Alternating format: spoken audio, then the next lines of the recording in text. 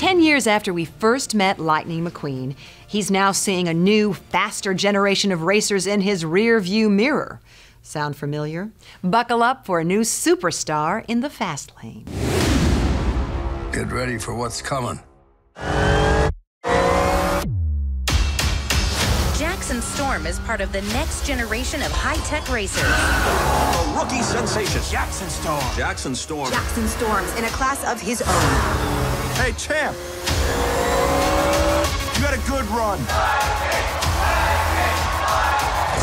You have no idea what a pleasure it is for me to finally beat you. Did you say meet or beat? I think you heard me. Enjoy your retirement.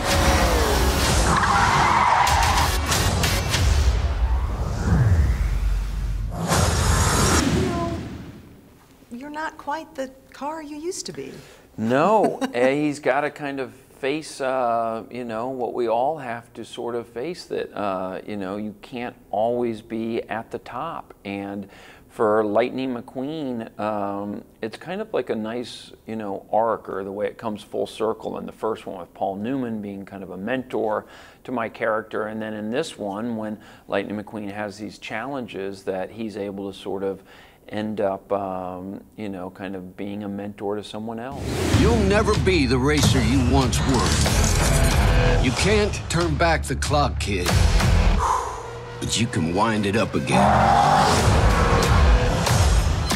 The racing world is changing. Treadmills, wind tunnels, virtual reality. Still working on that. And interactive race simulation.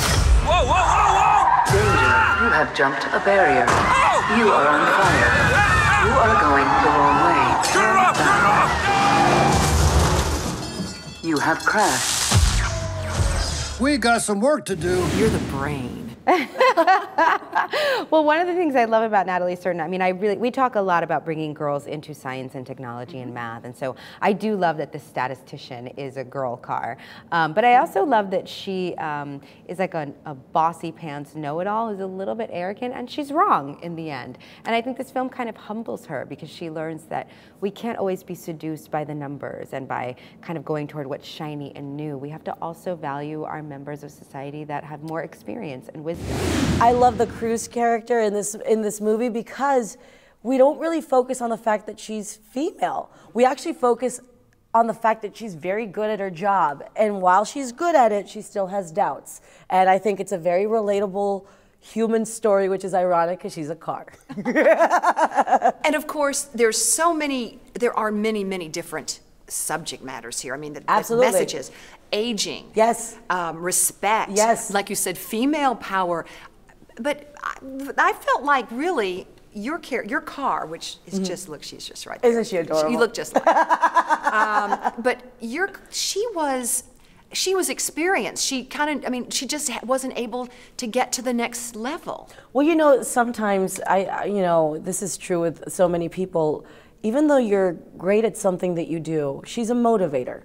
But we forget that motivators need to be motivated.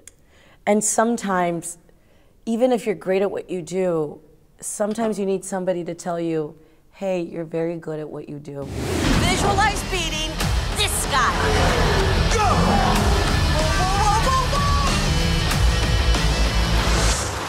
The beach ate me. Every week, veteran racers retire to make room for these younger, faster racers. Have you given any thought to retirement? No questions. Paparazzi. You'll never be as fast as Storm, but you can be smarter.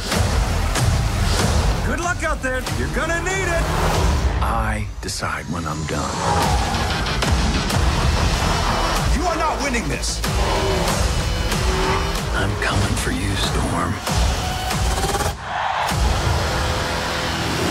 Flag down the best race cars in the world with Cars 3 and your real time theater.